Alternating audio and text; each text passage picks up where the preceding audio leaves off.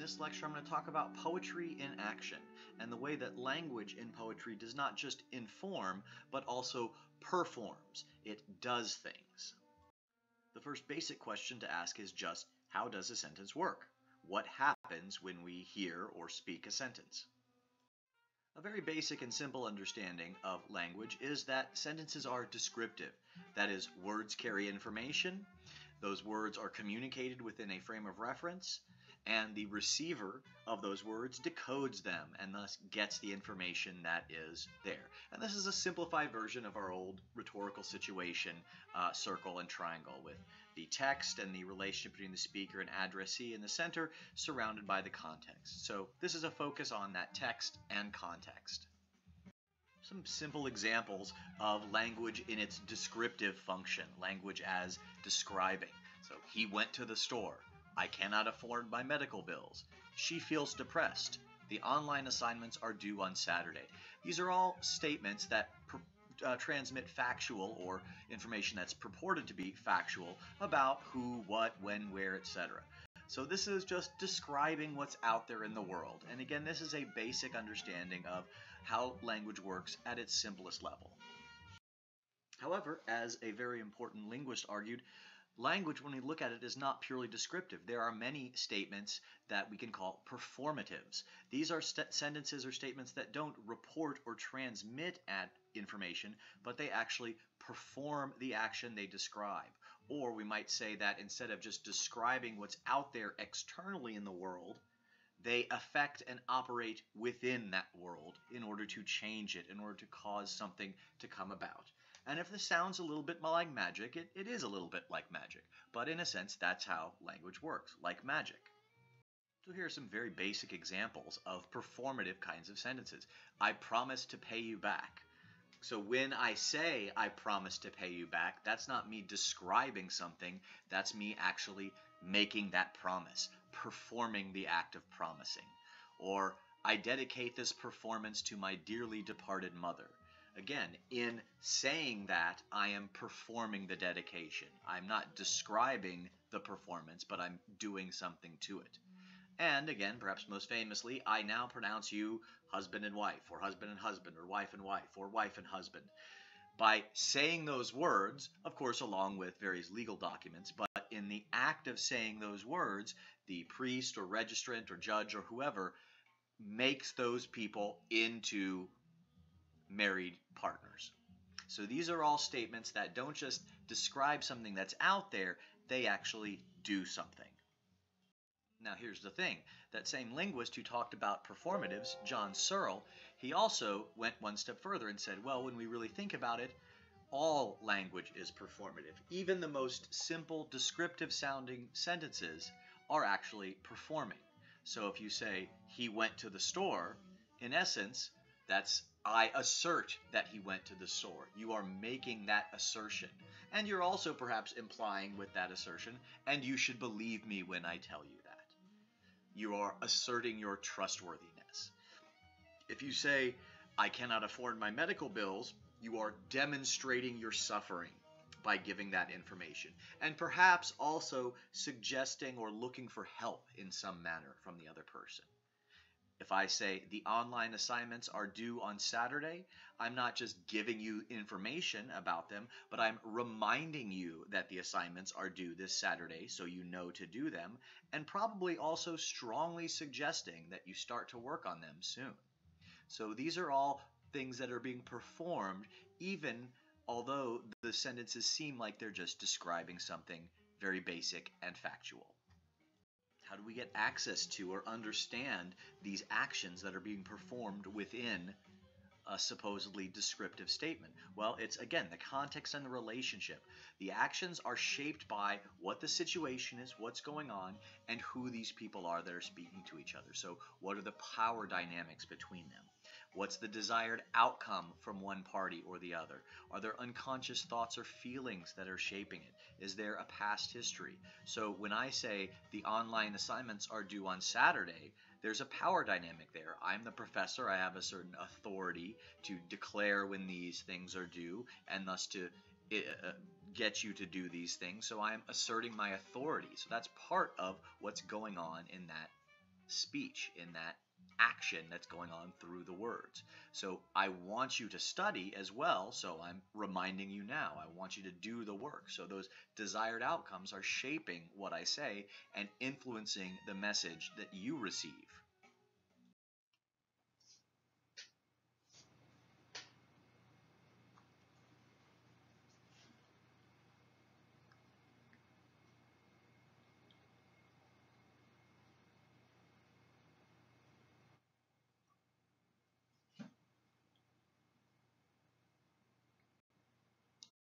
Let's look at some examples of speech actions, of speech in action. So consider the statement, I love you. Now, what if you say this, you're saying this to a close friend of yours who's just been dumped? What is what are you doing when you say I love you? Maybe you're trying to comfort them.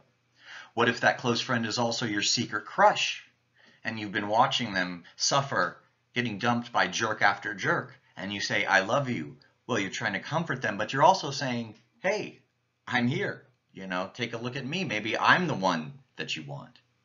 Or if you're saying it when you're proposing to your significant other, I love you. Right? You're, it's part of the proposal. You are, it is the proposal in some sense. It's a way to convince them. It's a way to show them that you're serious in your proposal. What if it's your significant other or perhaps former significant other who's leaving forever? You're never going to see this person again. You're breaking up, but you still love them and you say, I love you.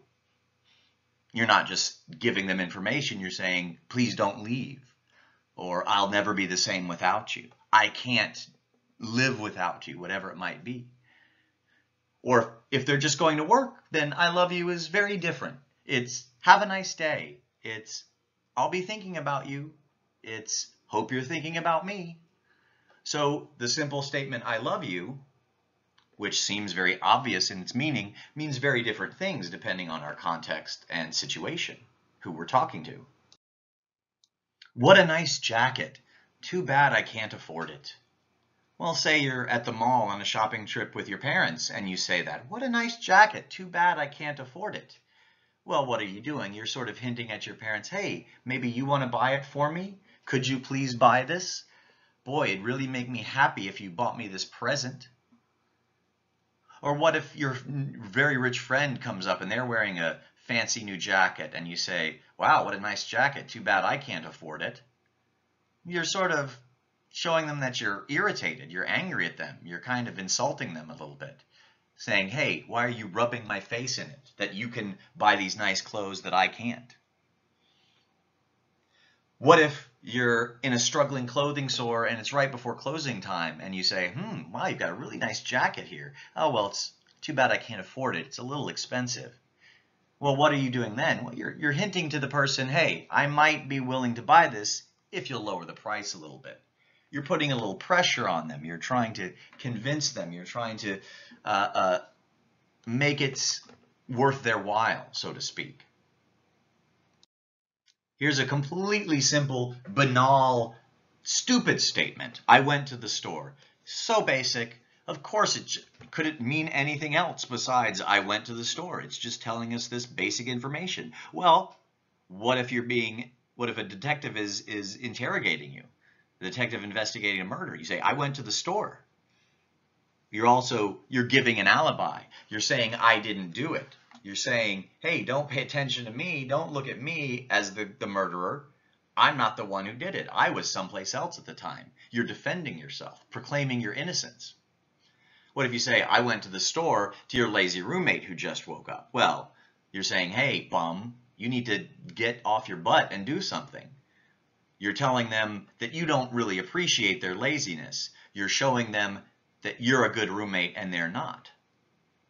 Now, what if you're saying it to your significant other who might suspect that you're cheating on them? Wants to know, hey, where were you? Why have you been gone so long? I just went to the store. Again, you're proclaiming your innocence. You might be trying to hide what you really were doing if their suspicions aren't, uh, if their suspicions are correct.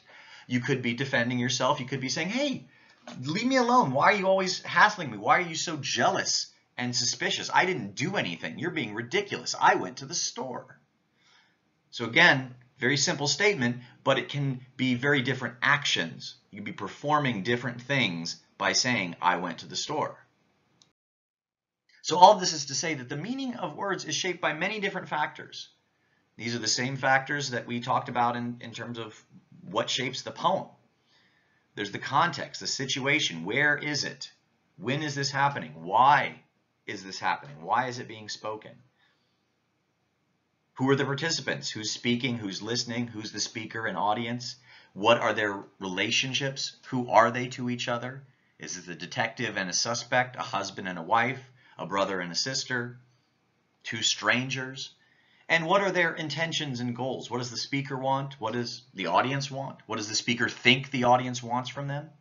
All these factors, just as they shape how we read a poem, they shape just the individual statements within the poem and the individual statements that we make in our day-to-day -day lives. So something as simple as I went to the store has a whole nother world of meaning within it, depending on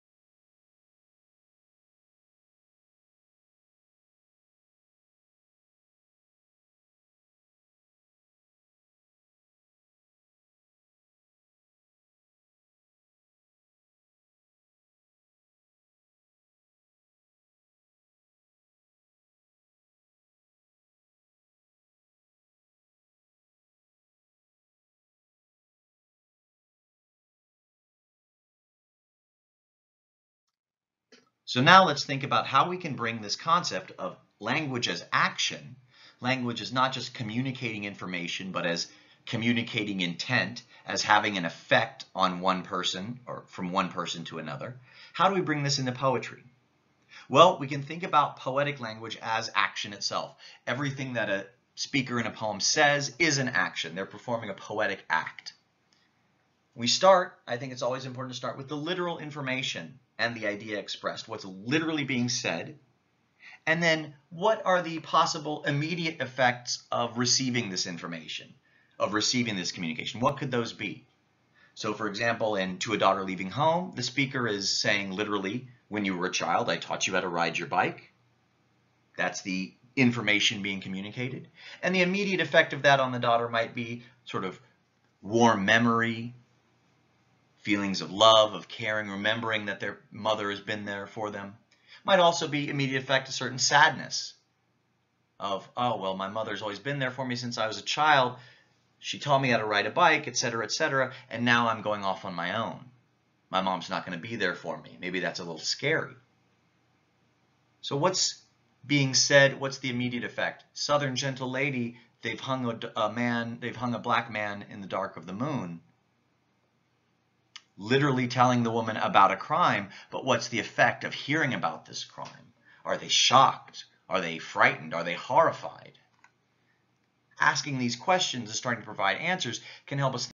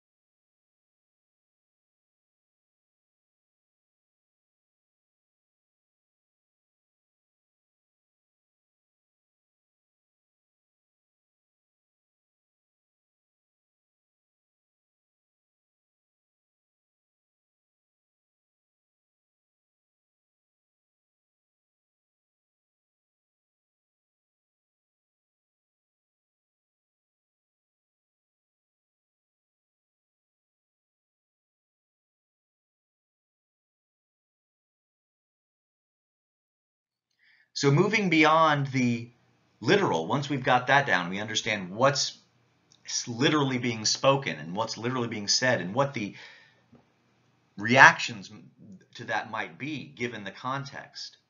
We can ask, what are the implicit ideas? What's not spoken outright, but is suggested by the statement? And how does the relationship between the speaker and the addressee, between the speaker and the audience, how does that influence the meaning or the effect of the statement? So the mother says, when you were eight, I taught you how to ride a bike. The relationship between mother and daughter shapes that memory. It's not just a memory of one person teaching another person to do something, but their whole relationship, the nature of that mother-daughter bond is overlaid on this event, on this memory, on the statement. So it's being said within the context of, I'm your mother, you're my daughter. So the implicit ideas that are being suggested, the love that the mother has had, the care that the mother has had, the time that she's put into teaching her daughter, making her an adult now able to leave home, the pride, perhaps, that the mother feels in the daughter leaving, but also the fear and anxiety the worry that they have. Just as they were worried that they might fall off the bike, she's worried about what's going to happen to her daughter now leaving home. So the explicit message, the explicit content is informed by this relationship and the history. And that's how we get these implicit ideas. That's how we get the attitude, the tone, the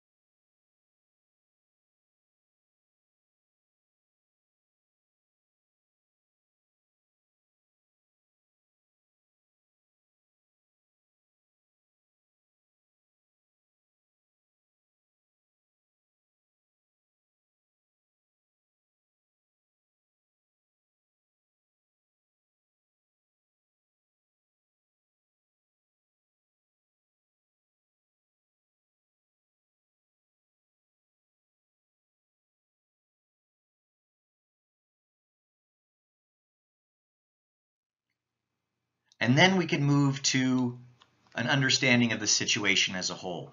What is, why is the speaker expressing these particular ideas and why through these particular memories or details? What are the immediate goals that she or he might have in telling this story, in giving this information? And what governing intention or what overall desire, what overarching want might this action support? Might the speaker trying to pursue through these individual poetic acts, these individual acts of speech, and the ideas that they're su suggesting? So the, the wife in A River Merchant's Wife, a letter, she tells about their past together. She tells about when they were children growing up together. Why express those particular ideas? Why talk about their past? Why possibly invoke those, the memories of innocence and childhood play, that nostalgia? There's a kind of pleasantness there. So what immediate goal might that be? Well, just to remind the husband, to recall their past together, to reminisce with him. But in a larger sense, she's writing to her absent husband and at the end asking him to come home, saying she will meet him. So in some sense, this this small act of remembering is part of this overall intention to communicate and reconnect with her husband. So we build from the smallest level of the individual speech, the individual line or sentence, the individual statement that expresses some literal content, but that through that, through the relationship between the speaker and the audience, has these additional deeper meanings, these other intentions behind it, which are all part of understanding the overall situation. What is happening between these two? What does the speaker want? And how are they trying to accomplish it through these various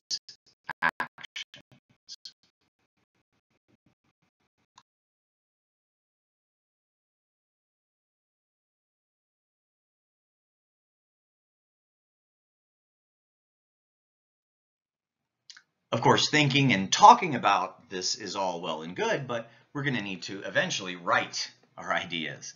So when you're talking about a poem, when you're talking about a speak what a speaker is saying, don't just say the speaker says X, Y, and Z. It's not just about summarizing, but what is the action that they're that they're performing? Try to come up with a specific verb. So instead of just saying, maybe the speaker is begging Maybe they're questioning, they're attacking, they're apologizing, they're complaining, they're reminiscing, they're reminding, they're teasing, they're seducing, right? Think about the action, what's being done to the other person. What effect is the speaker having on the other person? How are they using their words to have that effect? And if you can define that action through a specific verb, you'll be well on your way to understanding the poem as a whole or the complexities of the poem and how the speaker works through all these different modes and these different actions and different uh, uh, ideas that they express. Now, how do we define these actions? How do we come up with these verbs to think about, to describe exactly what the speaker is doing? Well, some very simple things we can, questions we can ask ourselves. Is the action that they're performing or is their intention positive or negative? Are they trying to help the other person? Are they trying to connect with the other person in a good way? Are they trying to have a good effect on that person? Or are they trying to hurt the other person? Are they expressing something positive or they, are they expressing something negative? Is the action overt or covert? Is it open or is it secret? Does the speaker say one thing and perhaps mean something very different? For example, when the mother says, I taught you how to ride a bike, she's telling about a memory, but there's also these other meanings, these covert meanings of I'm still worried for you. I'm worried now that you're going away. I'm proud of you, but I'm also scared.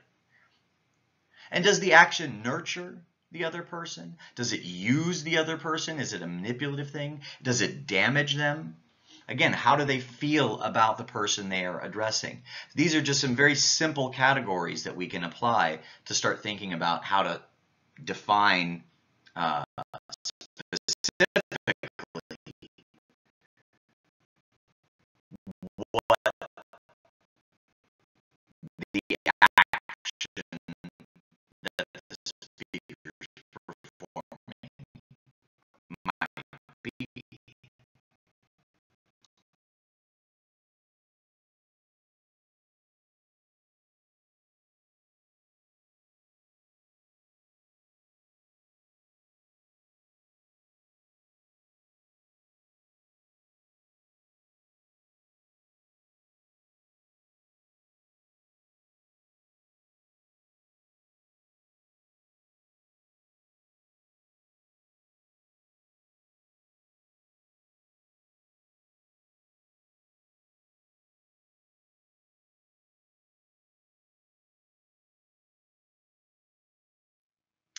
All right, let's review what we've talked about today.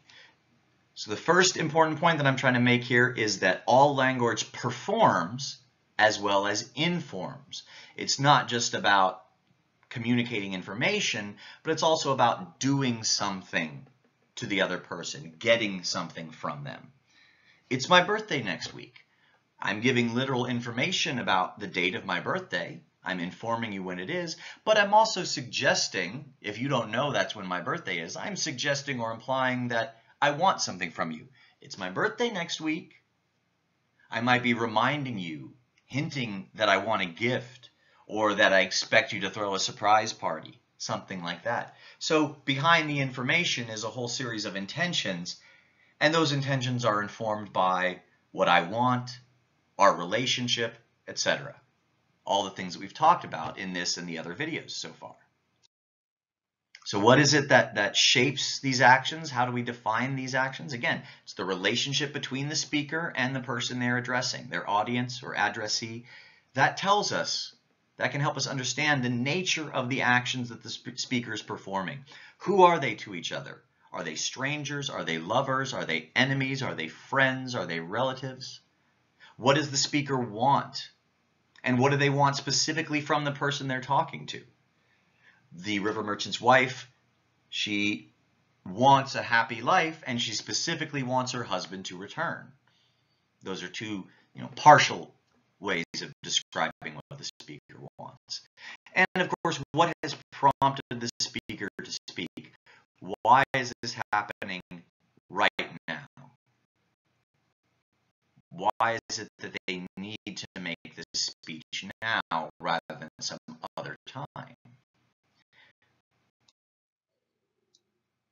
And once we've done that, once we've answered these questions, we can start identifying the specific verbs that describe what this speaker's doing.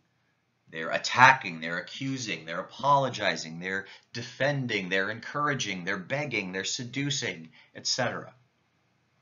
And these individual actions combine to express the governing intention or the overall want, the overall desire what the speaker's trying to do with this speech as a whole. So I might flatter my audience with compliments, tell them how beautiful they are, but then frighten my audience with fears of growing old and ugly. You're beautiful now, but one day you won't be. And then I say, because of that, why don't you take advantage of your beauty now and go to bed with me? So all these individual actions, the flattering, the frightening, the inviting, they're part of the overall intention. They all go together to form this overall desire of seducing the lover.